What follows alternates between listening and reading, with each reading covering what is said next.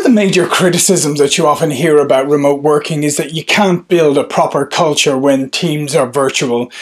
But I'm here to tell you that that's absolutely nonsense because culture is not based on proximity, it's not based on physical locations, it's based on a set of shared ideals and shared expectations. When everybody knows what they should be doing, when it's clear what the outcomes you're looking for, then people can collaborate and achieve those, and that is not dependent on a physical building or proximity.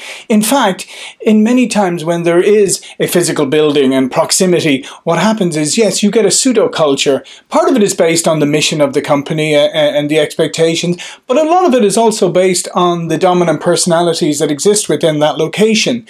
So your virtual team is in fact a lot more egalitarian, if you like, and it's a great opportunity for you to set the proper expectations uh, the shared outcomes that everybody is aiming for, be results oriented, empower people to achieve them and collaborate and work together. And then you're actually going to have one of the most results and oriented and dynamic cultures possible.